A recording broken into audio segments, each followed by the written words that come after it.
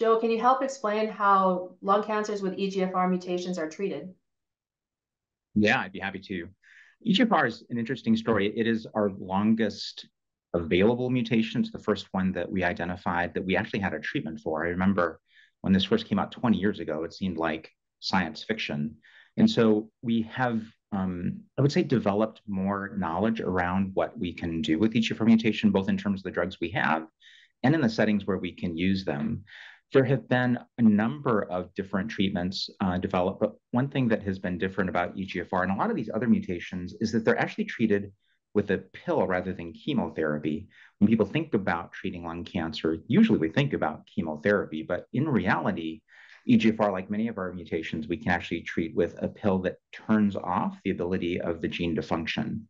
While there are a number of them on the market, the most important one and the one that most oncologists would use um, is a drug called osimertinib. So osimertinib has been around for a while. It's been a very effective treatment and a really important one for treatment of lung cancer.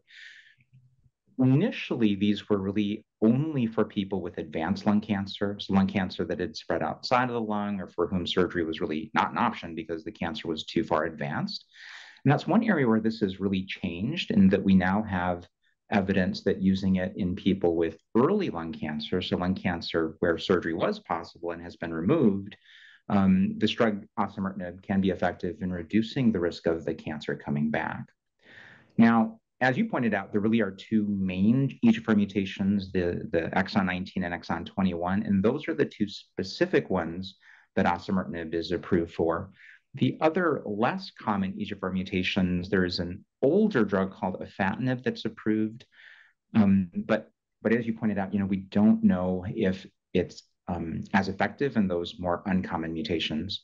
Now there is one exception, and that's um, a different EGFR mutation called exon 20, and that one's different because we know that none of these pills work, and there is another drug that, that is relatively new that works in a different way. It's an antibody that binds on to this EGFR protein. So an antibody is a designer molecule that's injected intravenously, and that has been approved for people with that specific form of the EGFR mutation.